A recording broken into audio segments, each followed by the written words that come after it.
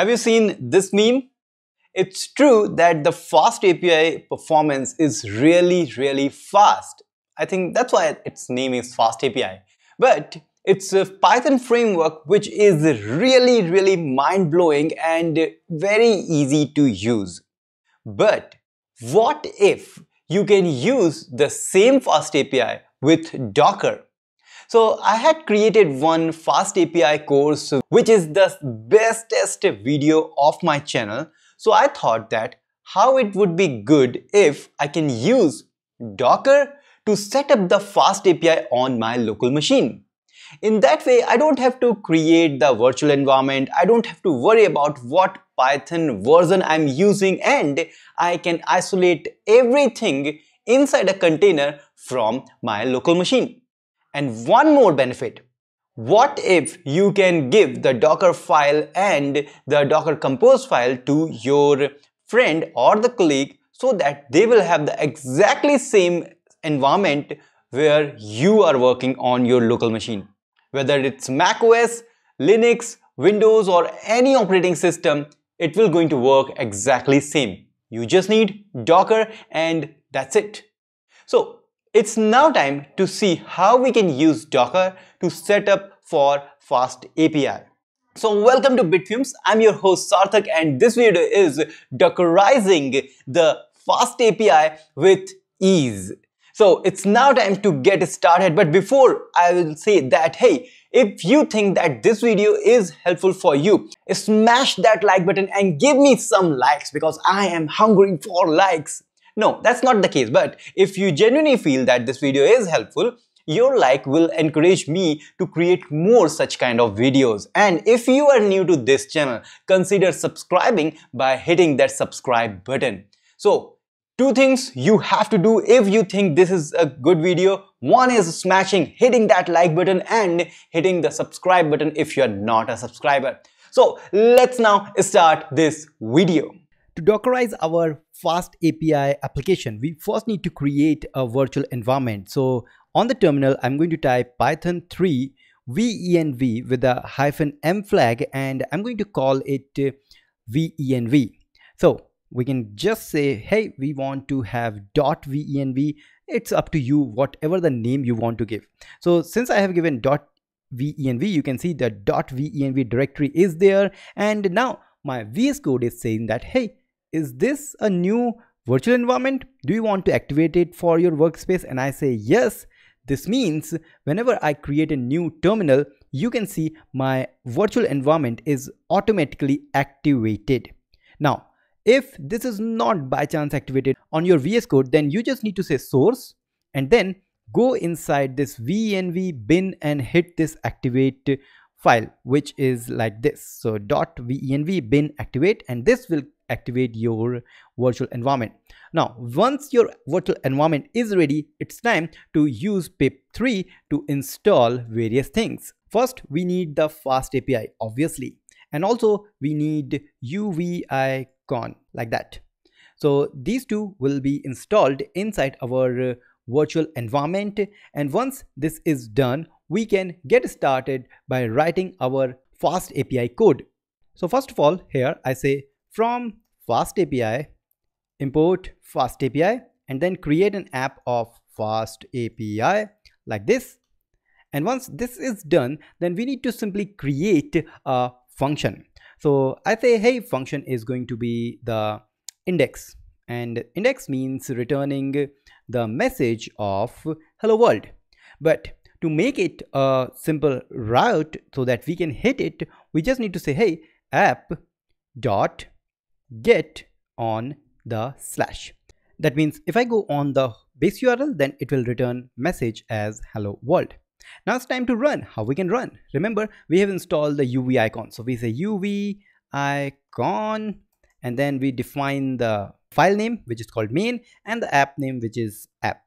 So colon app once this is done you can see if i go on localhost 8000 we have this hello world message.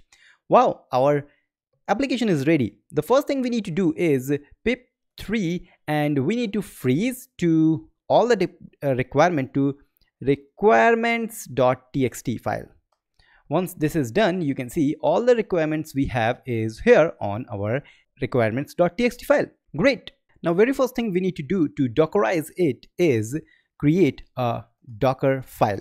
Now in this docker file i'm going to use from python 3 point which one? 9 10 11 which one we should use? So let's go to the docker hub. Search for python. So python and here we go. So python image is with the latest version of 3.9 and we want to use the slim version. So 3.9 and i'm going to use the slim version. Great. Then i'll define the work directory. So work dir is going to be the app and then i will copy everything from requirement.txt to requirement.txt inside this work dir which is already defined. Then we say hey run pip3 installation. So once we have all the dependencies in our container then we run this command inside of the container once again.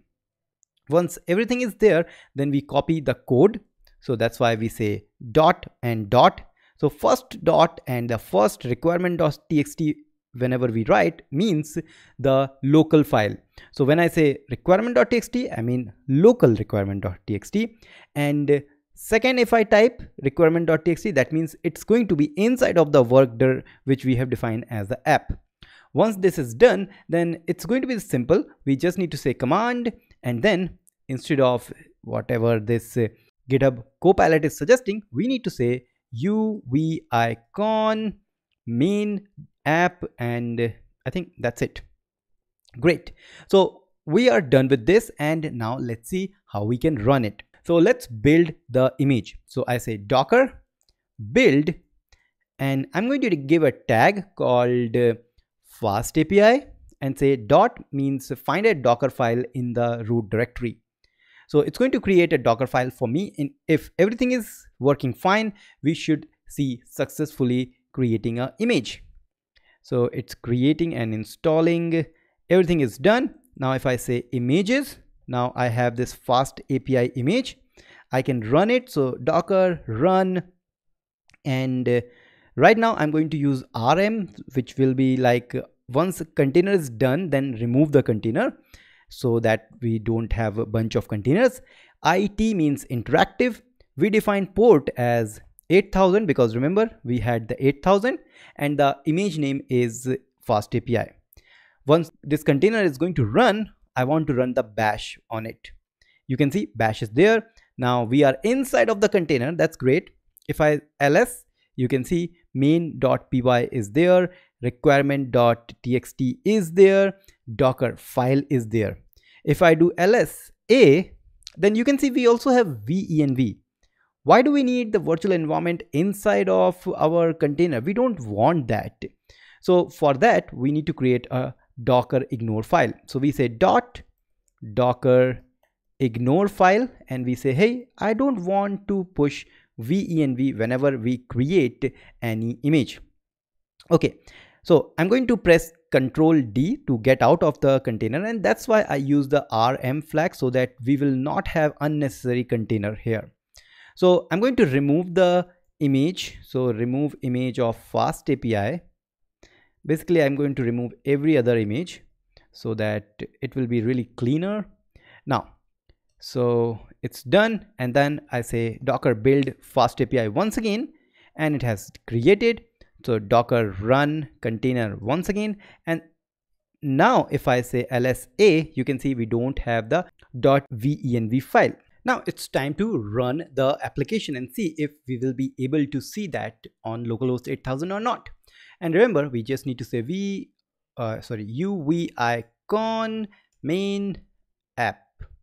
It's good. You can see 127.0.0.1 8000 and it should work. But no, because here instead of this local host, what we need to do, we need to say, hey, the host is actually 0.0.0.0. This is the one which we are going to use so that this will be the default to the outside of the Docker container. And now if we run it, you can see this hello world is there. Now, since we are able to successfully run this container and uh, create this image time for the docker file so that we don't have to write all that thing like this on our terminal every time.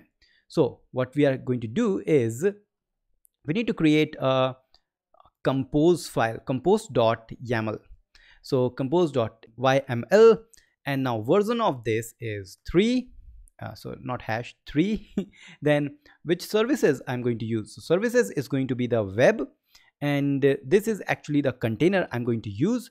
And then i'm going to say hey build from dot. Now dot means the root file where the compose file is. Find a docker file and build an image from that.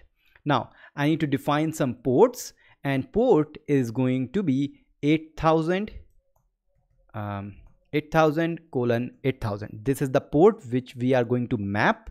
So yes that's it. So i'm going to just see if we have any container or not. No there is no container. Any images? Yes we have the image. So i don't want to get this image so i'm going to remove it. And now i will say docker compose and I will use up command. So when I say docker compose up, it will go inside this compose.yaml file and then it will create the container called web and inside that it will create the image from this docker file and define the port right here.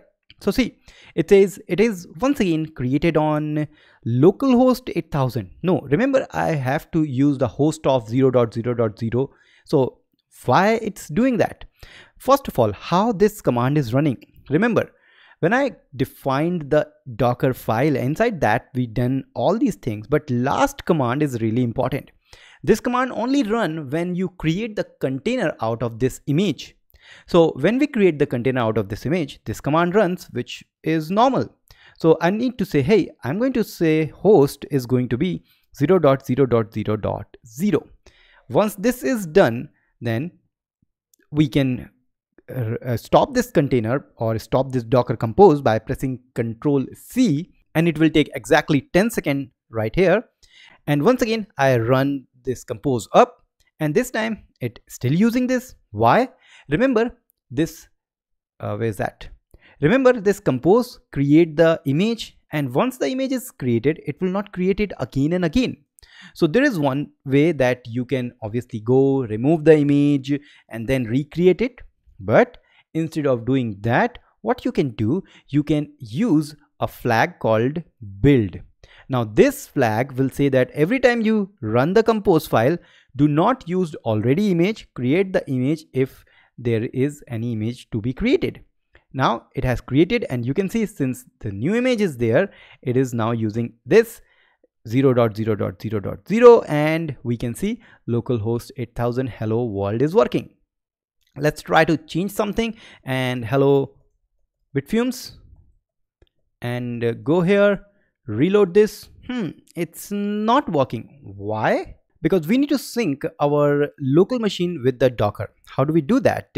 So when we define the compose.yaml we need to define the volume also. And here we say that whatever we have here on the root everything will be synced to app directory which we have defined here on the image. Okay so that's going to be really helpful. And once again we need to kill this docker compose and this time instead of using docker compose up only i'm going to use docker compose up but one more thing we need to do i recall that and which is reload flag on the command when we create the container out of the image. So that's great. And if I run build and you can see everything is good. And now if I go here, you can see bitfumes dot dot dot. And now if I remove these dots and go here, reload bitfumes is there and server is detecting the changes. Wow, that's really great. So this is how you can use the fast API with Docker. And if you have any question related to Docker, related to Fast API and how you can combine both of them, you can ask me in the comment section. And also if this video is helpful, smash that like button. And if you are new to this channel, consider subscribing by hitting the subscribe button and I will make sure to give you a proper informative and really amazing videos. So we'll meet in some other videos till then. Goodbye.